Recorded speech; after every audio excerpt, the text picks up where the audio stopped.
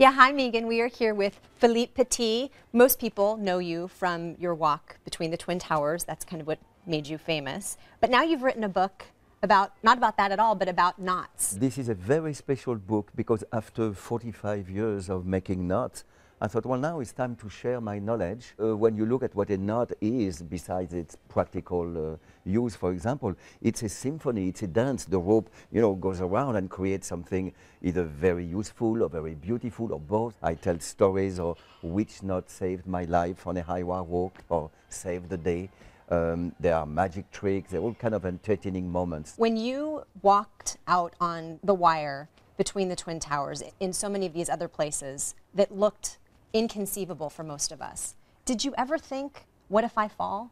No, that to me is is an impossible thought. What I do is dangerous, but I will never get on the wire if I were not sure to succeed in that last step. And also when people ask me, so uh, are you afraid? Sometimes I counter punch, I say, afraid of what? And people giggle. but truly, I do not see failure. I am a high wire walker, so I don't think of the opposite of walking. I cannot.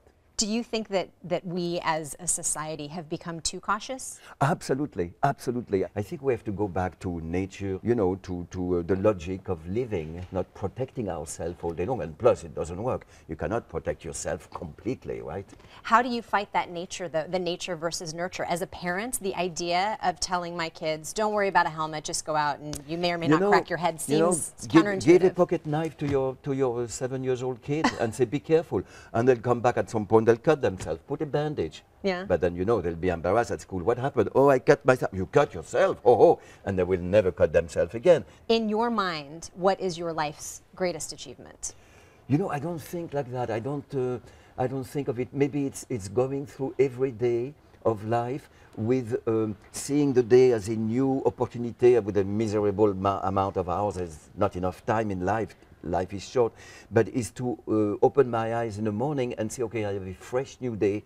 What am I going to do? Uh, life is short and I run toward what I want to do. And I have the delight to see that what I want to do inspire people. So it's a beautiful life. Fascinating. Thank you so Thank much. you very much. Philippe Petit. Back to you, Megan.